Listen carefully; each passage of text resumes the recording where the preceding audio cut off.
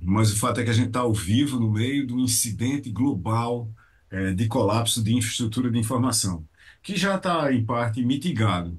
Mas não, a parada é a seguinte: a cada vez mais a gente depende de infraestruturas de nuvem, de software como serviço, ou do que eu costumo chamar de informaticidade. É informática provida como serviço, consumida como fluxo e paga como volume de uso.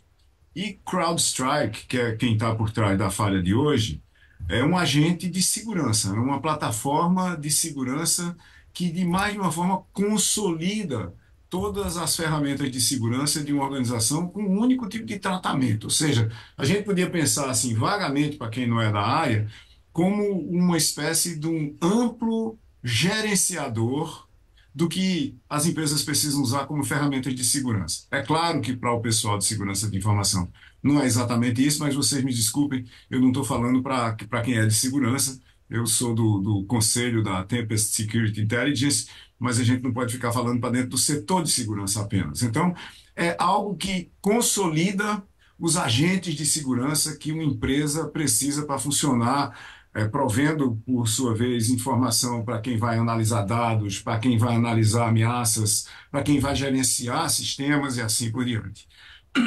E houve uma falha de um deploy, né, como a gente diz em computação, houve uma falha de entrega de, de uma parte da solução com um arquivo é, que estava de alguma forma não configurado apropriadamente, que colocou sistemas Microsoft Windows, sejam servidores ou sejam é, clientes, num boot é, de tela azul, ou seja, levava você para dizer, ok, não posso carregar, você tem que reiniciar o sistema, é, e aí você, quando reiniciava o sistema, ele voltava para a tela azul de novo.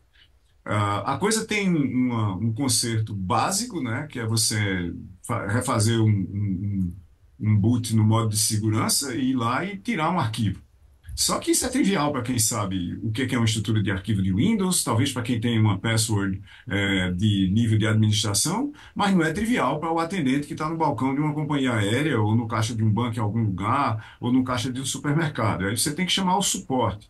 E se o suporte não tiver feito as coisas de tal maneira que a infraestrutura, por sua vez, daquela organização pode ser gerenciada remotamente, você vai ter que tratar o incidente máquina por máquina. Ou seja, você injetou via nuvem na gestão é, de segurança um bug, resultado de um erro de processo, né? isso devia ser, ter sido testado perante as condições reais de uso. Tem um comentário que eu vi em um dos meus grupos de segurança aqui, alguém dizendo: "Eu tenho certeza de que na máquina, na máquina de quem fez o upload do, da atualização está funcionando perfeitamente".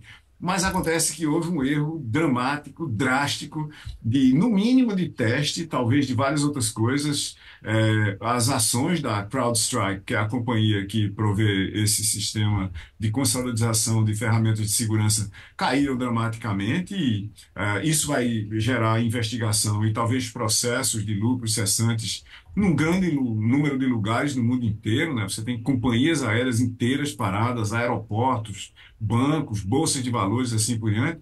Ou seja, é daquelas coisas que vão acontecer vez por outra, né? A gente só não quer que, por exemplo, aconteça num Pix numa sexta-feira no fim da tarde.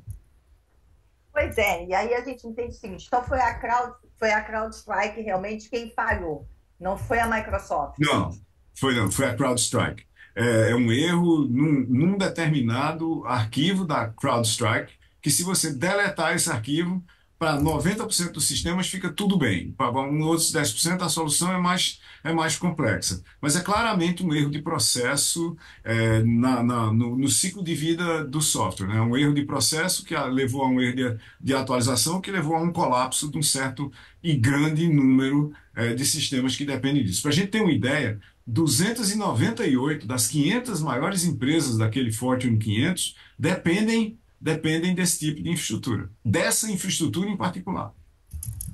Nossa, é um caos. É, é um caos. É um caos, bastante.